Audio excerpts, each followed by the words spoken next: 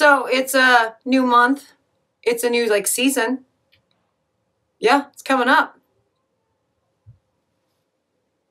It's it's uh it's like here-ish. Yes, new season, spring, which can only mean one thing. New lotion bars. And we're going to talk about lotion bars and I'm going to give you a recipe in this video in just a minute. But before I do, hello, I am Mrs. Soap and Clay. Let's make stuff.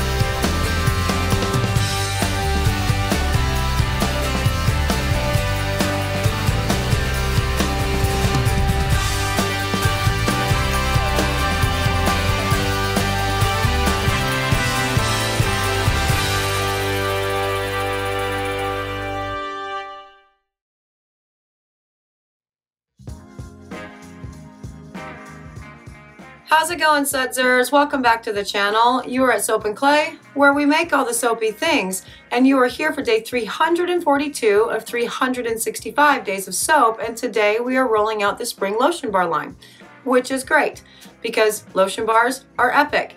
They are like packaging free, and so yay, eco. They are, well, solid, and so yay, no water.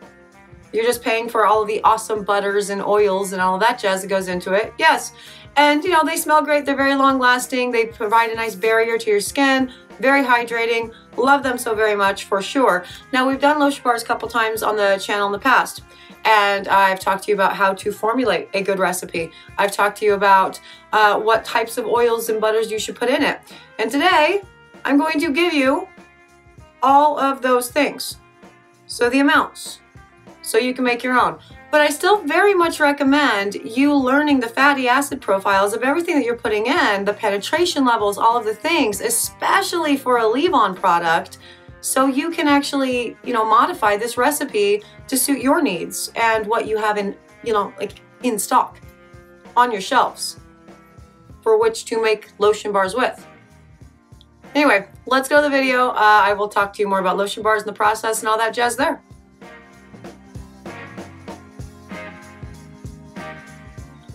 Okay, so lotion bars. And, you know, let's talk about, in this little itty bitty baby video, lotion bar formulation.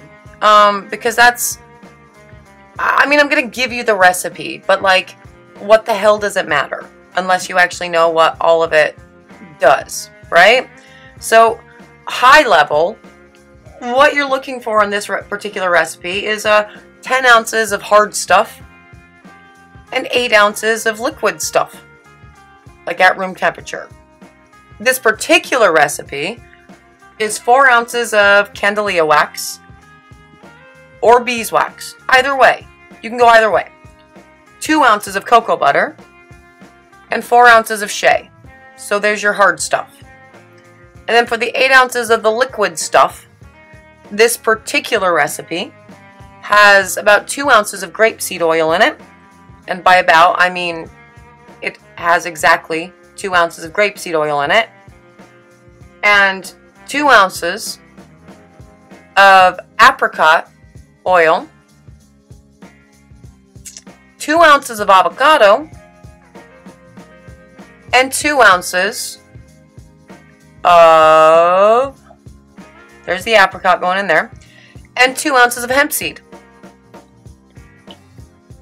All to equal eight ounces. Now, lotion bars, this is a leave-on product, right? And so the, the oils that you're putting in, they actually do impact the skin in different ways. The biggest thing that you want to focus on is the fatty acid profiles and the skin penetration. And if you get something that, if you just put in a whole bunch of like olive oil, well, it's going to be greasy and it's going to be not fun to work with and you're not going to like it. So like you need to know the different things that these oils do to your skin when formulating a really good solid lotion bar recipe. Because I mean what if you need to sub something out? Like here's the recipe. I just gave it to you and we're gonna put some more stuff in it you know later. But like I just gave you this recipe cool but if you don't actually know what the different oils and butters do and their penetration rates then how would you know how to sub anything out so, you know, this is why with all the other lotion bars recipe videos I've done, I've given you the percentages and, you know, that. But let's go on to the melt and we'll talk more about that.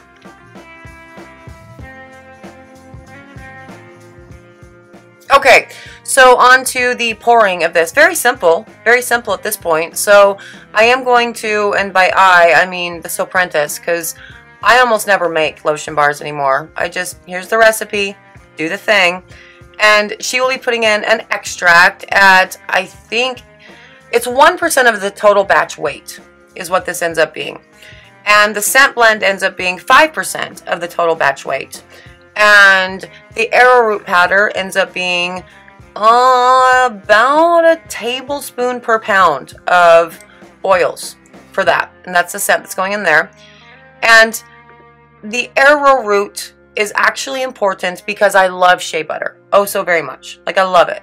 Love shea butter. But shea butter can be greasy. And so playing with the right ratios for your arrowroot powder to get a nice lotion bar that's not greasy is important. And so we have, you know, a full ass tablespoon there. And that actually makes sense for the amount of oils and everything that's in there. 8, 12. Yeah, that was a heaping tablespoon. And there's about 18 total ounces in this, so just over a pound. So yeah, that logic all tracks. That's it. About one tablespoon per pound of oils. Now, with the oil qualities and everything that you're looking for with a, a lotion bar, again, you want to really combine your deep penetrating oils with your easier to penetrate, more lightweight oils. And so like apricot is, and grapeseed both, wonderful examples of your very, very lightweight oils. They both have, they're antioxidant rich, they're vitamin rich, it's very lovely. But then you have, moving into that, your hemp seed oil, which would be a nice uh, substitution for like argan, for example, because it's sort of a, a mid penetrating and lots of like skin boosting, skin plumping properties within the oil itself. So that's awesome. And then you have the avocado oil, which is a slow penetrator and it has lots and lots of I'm sorry. Every time I say penetrator in these in these videos, I just I have to stop. sorry. Yep. Nope. Mm -mm. We're not we're not doing that tonight.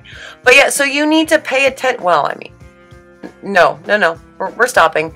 So you need to pay attention to the different fatty acid profiles that the oils like bring bring to the table because if you just used nothing but the eight ounces of liquid oils um, is avocado oil. Well, that would be a very greasy bar. Or olive oil. Very greasy bar. And so you don't... It's more important, I think, to know the ratio of uh, firm to liquid than anything else because that allows you to then play play with the different ratios and see what works best for you. And then you also know how to substitute things out because you're going to want to sub a medium penetration you know, liquid with another one or another like light with a light. It's like for like, all of the things, really. Yes, totally. But you know, there's your recipe. Go make it and let me know how you like it. Now we have three different versions going on for the spring line and we just sort of selected from the um, the Maple Street scents that we really loved and we're running with those for the next few months, which, you know, I'm a big fan of because I actually really, really love the ones that we picked. We did the uh, Hibiscus Guava as well as the Endless Love Dupe as well as the Teak Bamboo, which actually is not. It's, not a Maple Street. That's actually the only one from Lone Star that I loved.